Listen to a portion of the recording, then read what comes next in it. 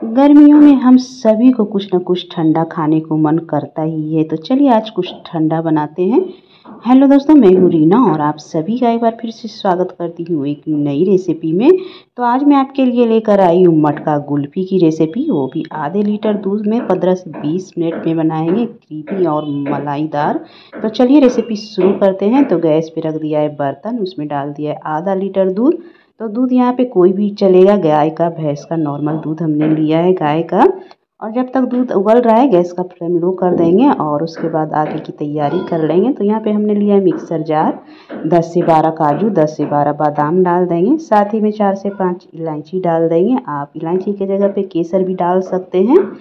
और चार चम्मच यहाँ पे हमने चीनी डाल दी है और साथ ही में डालेंगे दो से तीन चम्मच मिल्क पाउडर। मिल्क पाउडर को आप बाद में भी डाल सकते हैं। मैं यहाँ पे मिक्सर जार में ही डाल रही हूँ ताकि आसानी से सब कुछ पीस जाए और थोड़ा सा दूध डाल के इसको स्मूथ सा पेस्ट बना लेना है।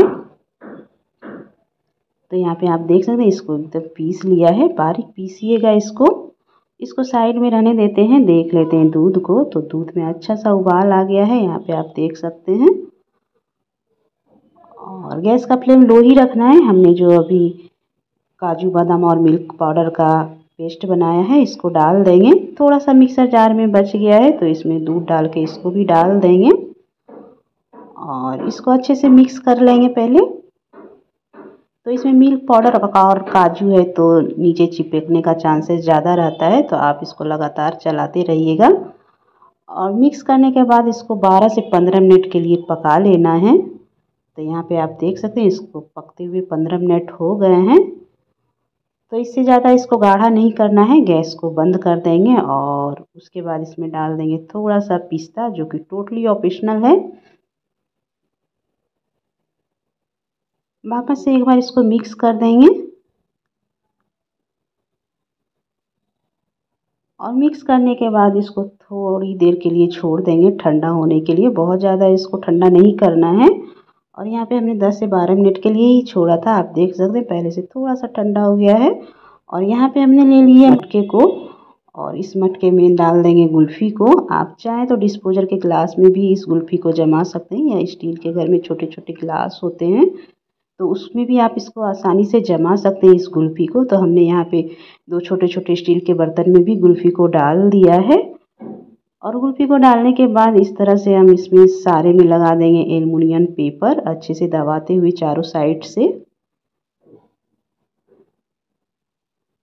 तो चलिए सारे पे इसको लगा देते हैं एलुमिनियम पेपर को। तो यहाँ पे हमने एलुमिनियम पेपर को लगा दिया है और इसको ओवरनाइट के लिए फ्रीजर में छोड़ देंगे या आठ से नौ घंटे के लिए। और यहाँ पे आप देख सकते हैं ओवरनाइट के बाद हमने गुल्फ़ी को निकाल लिया है। थोड़ा सा पिस्ता से इसको गार्निशिंग कर देंगे और हमने जो ये ग्लास में जमाई थी, वो भी अच्छे से जम गया है। आप देख सकते हैं, बहुत ही क्रीमी और मलाईदार टेक्सचर आया है गुल्फ़ी का। और हमारा गुल्फ़ी एकदम तैयार है खाने के लिए। तो यहाँ पे आप देख सकते हैं गुल्फ़ी को। आप देख के इमेजिंग कर सकते हैं कितना टेस्टी और एकदम मलाईदार गुल्फ़ी बना है। मैं आपको कैमरे में एकदम नज़दीक से दिखा रही हूँ। तो इस रेसिपी को आप एक बार ज़रूर ट्राई कीजिएगा। आशा करती हूँ कि आज की ये रेसिपी आपको पसंद आई होगी। रेसिपी पसंद आए तो प्लीज़ प्लीज़ हमें सपोर्ट कीजिएगा। सपोर्ट करने के लिए वीडियो को लाइक कर लीजिएगा। इसी तरह का वीडियो को देखने के लिए चैनल को सब्सक्राइब कर लीजिएगा। अब आपसे मुलाकात होगी अगली वीडियो में। तब तक के लिए bye take care thank you for watching